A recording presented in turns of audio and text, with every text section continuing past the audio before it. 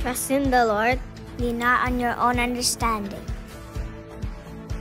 Don't be like them.